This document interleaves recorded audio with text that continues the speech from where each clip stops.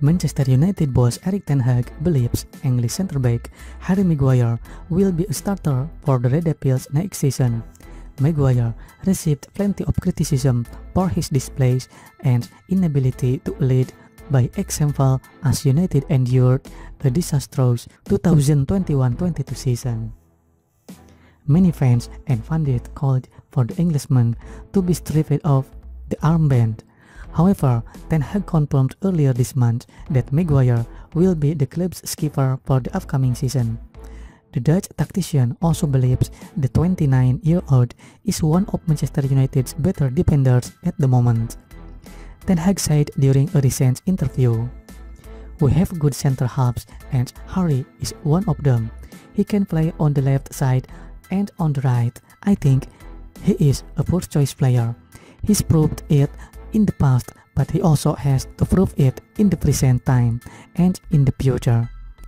The former AFC Ajax boss went on to add, He has played 46 times for England. Harry is really impressive and I expect a lot from him. But there is also internal competition and that is what a club like Manchester United needs. Ten Hag indicate that Maguire may not start every game given the hectic season that lies ahead of Manchester United. You cannot win with 11 players. We need a squad, especially this season with so many games. We have the Europa League, the Premier League and the World Cup, so we need a full squad with high quality players. The Dutchman went on to add that retaining the captaincy could give Maguire confidence, stating, I always see the captaincy as an issue that I dictate. The team building for me is an important point and I always talk about a group of leaders.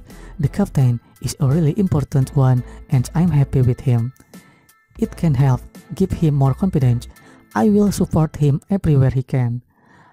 In the end, he has to do it by himself and he has the qualities to do it.